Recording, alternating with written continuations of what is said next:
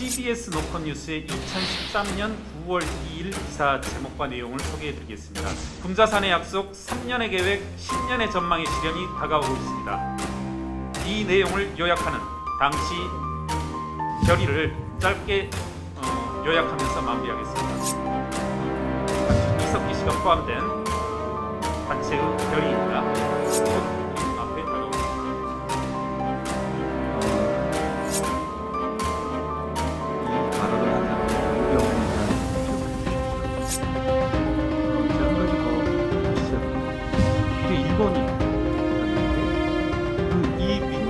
계열의 비례 1번과 전, 전지혜, 전지혜 씨 이분이 소속된 단체가 결의 하나인데요. 이 단체의 홈페이지에 들어가셔서 이 단체가 아, 그동안 해온 활동들과 이 단체가 북한 어제 저녁 어, 시민사회 인사들과 어, 함께 있는 단체 톡방에서 가장 많이 오르내린 단어가 위장전입이었습니다.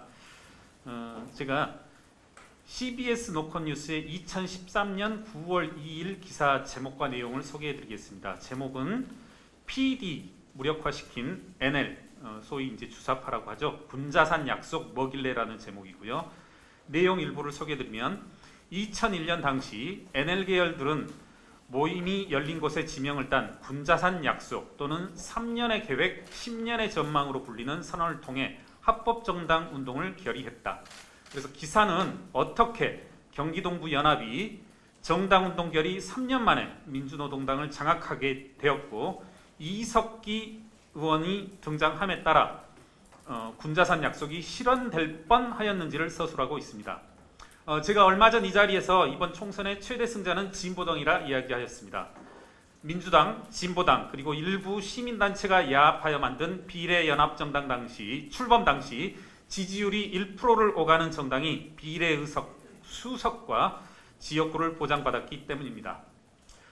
어제 저녁 더불어민주연합 국민후보 선출이 마무리되었습니다. 이를 통해 진보당 계열 인사가 위장 전입하여 비례대표 순위에 올랐다는 의혹이 언론과 시민사회를 중심으로 퍼지고 있습니다. 혹자는 얘기하고 있습니다. 앞으로 진보당 계열 인사들이 조국 신당에도 어떻게 위장 전입할 것인지 기대된다고 얘기합니다. 군자산의 약속 3년의 계획 10년의 전망의 실현이 다가오고 있습니다. 이 내용을 요약하는 당시 결의를 짧게 어, 요약하면서 마무리하겠습니다. 어, 당시 이석기 씨가 포함된 그 단체의 결의입니다. 3년 내에 광범위한 대중 조직화를 통해 민족민주정당을 건설하고 10년 내외 자주적 민주정부 및 연방통일조국을 건설하겠다. 예, 곧 우리 눈앞에 다가오고 있습니다. 어,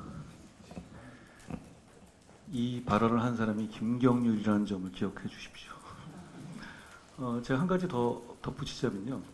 비례 1번이라는 게 사실 비례 1번을 하는 사람이 그 정치 세력과 다른 입장을 가질 수는 없는 거 아닙니까? 제가 정치 몇 달 안 됐지만 그런 게 상식 아닌가요? 그 이 민주당 계열의 비례 1번가는 전 전지혜 전지혜 씨 이 후보님은 올해도 아니에요. 오래전 얘기도 아니고 작년 11월에 유엔사 해체를 주장을 하셨더라고요. 어, 그리고 이분이 소속된 단체가 결의 하나인데요.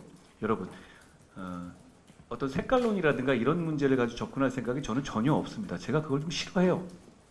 그러니까 여러분 이 단체의 홈페이지에 들어가셔서 이 단체가 아, 그동안 해온 활동들과 이 단체가 북한 쪽하고 어떤 뭐 초청이라든가 이런 거를 주고받은 그런 문건을 올려둔 것, 것들이라든가 이런 것들을 한번 봐주시기 바랍니다. 저는 민주당에 다시 한번 물어보고 싶습니다.